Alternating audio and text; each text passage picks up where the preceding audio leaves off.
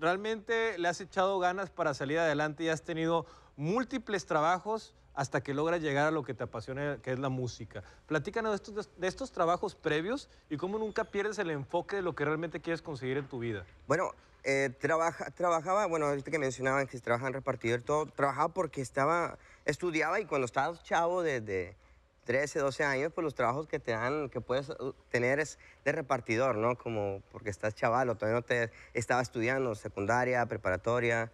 eh, pero ya después de la prepa ya me decidí mucho a estar dentro de la música, estar metido en el baile totalmente.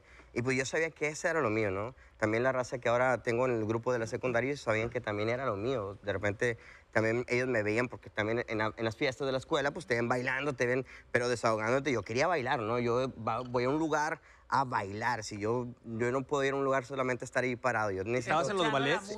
Me- ¿Tenías tu ballet? Sí, eso sí para estuve un 15 años? tiempo, ajá, sí estuve eh, muy poquito, como seis meses. A mí me gustaba más eh, realmente que mi baile se, se expandiera más, no solamente como que bailando en un 15 años, ¿no? Y, y tomado de la mano también pues era la música, era parte de lo que me gustaba cantar y yo comencé cantando hip hop a los, a los 14.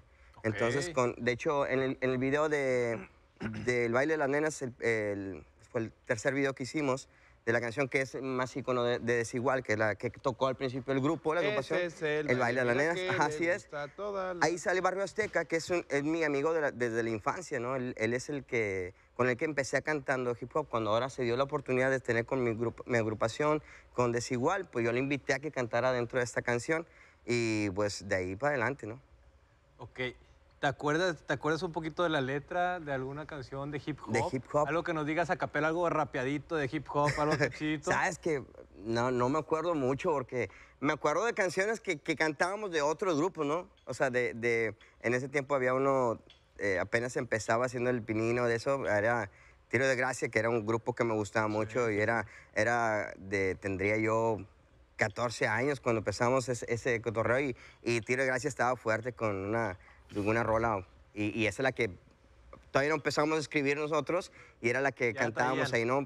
Eh, teníamos un, le bajamos, había un, había un aparato que, que le bajabas el sonido, o sea, como decía karaoke, le aplastabas y, y tumbaba un poco la voz. rebajaba. Ok. La rebajaba, tumbaba la voz y luego nosotros la grabamos y llegamos al, en aquel tiempo una discoteca se llamaba el Bad Crew. Llegábamos y nos, nos montábamos a cantar ahí, el DJ, eso, era camarada, vamos a cantar. Y así, entonces nos daba chance y nos subíamos, giraba el, el escenario y salíamos cantando, ¿no? El, barrio Azteca y yo. Y estaba padre, ¿no? Esos fueron mis pininos. En ese tiempo la gente, era, la raza era más bullying, ¿no? No era como que, hey, me gusta cantar baladas, ¿no? Entonces la raza te veía diferente, sí te tiraba carro machín. Entonces, Sí, sí, sí, lo y ahora es- con otras cosas, Ajá, entonces yo era como que el hip hop era como que defenderme. el- yo canto hip hop, ¿cachas? Entonces fue por ahí que le di más. Empecé a mi cantar ahí, después canté baladas, salsa, eh, rock pop, reggaetón y luego terminé en la cumbia. ¿Cómo te, ¿Cómo te va en el tema, cómo te iba en el tema de los ligues, de las chavas, de las mujeres, las conquistas? Porque sabemos que bailar, bailar bien es una forma de conquistar, es una forma de seducir. Pues, nada, pues a mí me gustaba bailar, ¿no? O sea, yo, yo iba y, y si había una, una muchacha guapa y, y- y podía bailar, pues yo me, me, me desahogaba Soltabas, bailando, sí. soltaba, ¿no? Pero si no bailaba, no me gustaba. Entonces, entonces, si estaba así no parada, no, no me gustaba, ¿no? Entonces me gustaba bailar bastante, ¿no? Ya. Así era, así era mi... Que hubiera mi- movimiento. Sí, claro. Ahora, ¿cómo empiezas, cómo llega este acercamiento con la fiebre loca?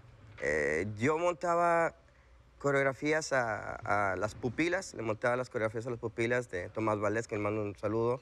Eh, por ahí conocí a uno de los integrantes de, de- de La Fiebre, viene también uno a tomar clases conmigo. Les empecé a montar las coreografías, ellos tenían un año eh, en La Fiebre, después empecé, empecé a ir, me invitaron una vez a ir con ellos.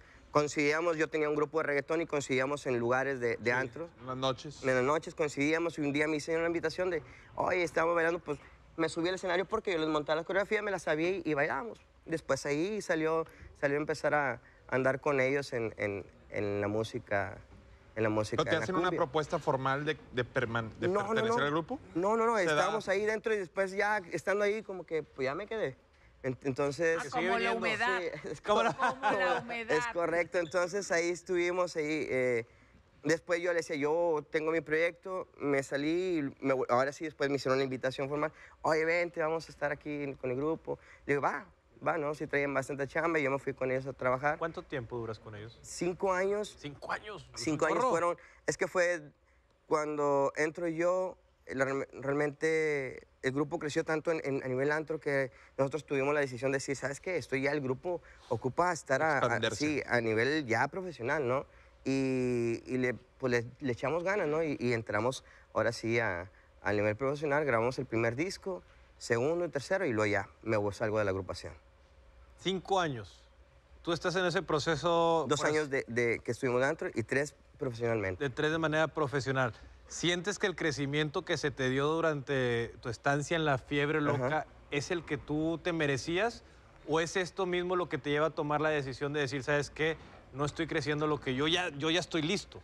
Ah, pues yo, mi salida no, era como, no fue como que yo la deseara, no era como el- ni el momento de salirme, pero lo tuve que hacer y, y no había otro modo, de, sino que yo lo que sabía hacer era la música y seguir, tenía a mi hija, tenía a mi hijo, tenía que trabajar, tenía que echarle ganas y nadie me garantizaba hacer un grupo y salir adelante otra vez, ¿verdad? Que, que tuviera un éxito el grupo. Entonces, pues así se dio, se dio, digamos que tuvo que hacerlo forzosamente. ser así. Así es. ¿Cómo, está, cómo es tu etapa de, de papá? El papá, genial. Genial. Tengo tres hijos. eh, la más pequeña ahorita tiene cuatro años, Kiana. ah, el mayor Ricky. Kendra, que es la del medio, es 12, 11 y 4 años. Mira nada Pero sí, genial. ah, Yo Buen mucho. bailador el muchacho. Uh, Sí, sí, sí. ¿Y si alguno te saliera así peleador? peleador, pues lo llevaría con mi compadre para que me entrenara.